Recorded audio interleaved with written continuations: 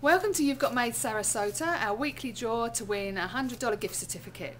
In my cup I've got uh, the names of all our customers and I'm going to shake them up, pour them into my apron, give them a good shake and I'm going to pick out a winner. But before I do, I need to put on my, ooh, lucky pick out a winner glove. so here we go. There we are. And the winner is, oh hold on a moment, I need my glasses. Just put these on. Uh, well these aren't, these, these aren't the right glasses, these are my driving glasses. Hold on a minute. Where are they? Oh, here they are. Silly me.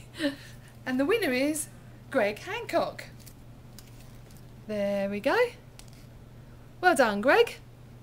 All you have to do to claim your prize is reply to this email within two weeks or call the number on the email and to claim your prize. Don't worry if you don't get around to claiming it this time because we'll put it back into the drawer in a couple of weeks time and you'll have another chance. Oh and by the way don't forget to check out our special offers underneath this video.